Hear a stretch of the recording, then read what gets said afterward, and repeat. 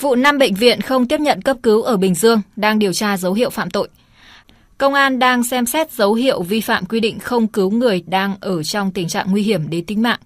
Hôm nay ngày 17 tháng 8, tại buổi họp báo, công tác phòng chống dịch COVID-19 của tỉnh Bình Dương, Công an tỉnh Bình Dương thông tin về kết quả xác minh điều tra vụ án Ngô Tâm Dương, 57 tuổi, ngụ tại phường Tân Đông Hiệp, thành phố Dĩ An, được người nhà đưa đi cấp cứu nhưng năm bệnh viện không nhận, sau đó về nhà trọ đã không qua khỏi. Qua xác minh ban đầu, khoảng 20 giờ ngày 13 tháng 8, người nhà đưa ông Ngô Dương đi cấp cứu bằng xe bán tải. Khi đến trung tâm y tế thành phố Dĩ An thì thấy thông báo trước cổng với nội dung từ ngày 22 tháng 7, trung tâm y tế thành phố Dĩ An sẽ chuyển thành bệnh viện điều trị COVID-19. Tất cả mọi hoạt động khám chữa bệnh và cấp cứu thông thường sẽ được chuyển về cho ba bệnh viện, vệ tinh là phòng khám đa khoa Ngọc Hồng,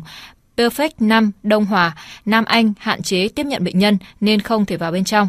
Sau đó người nhà tiếp tục đưa ông Ngô Dương đến phòng khám đa khoa Ngọc Hồng. Tại đây nhân viên y tế tiến hành test nhanh kháng nguyên COVID-19 cho bệnh nhân và người nhà với số tiền 700.000 đồng. Sau khi có kết quả âm tính với SARS-CoV-2, nhân viên y tế tiến hành cấp cứu cho người bệnh với tình trạng chi giác lơ mơ, không tiếp xúc được, tiêu lỏng 3 lần, nôn ói 4 lần, tiền sử bệnh là cao huyết áp, đột quỵ não,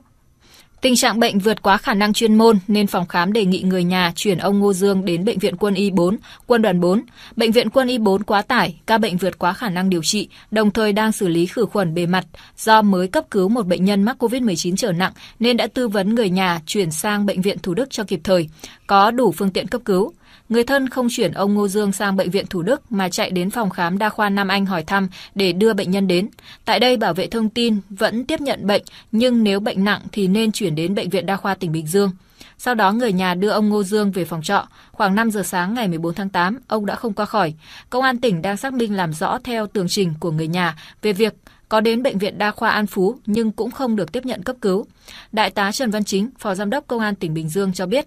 Công an đang xem xét dấu hiệu vi phạm quy định không cứu giúp người đang ở trong tình trạng nguy hiểm đến tính mạng. Theo Bộ luật hình sự, hiện Công an tỉnh cùng ngành y tế thẩm định để xác định làm rõ vấn đề này một cách nhanh nhất.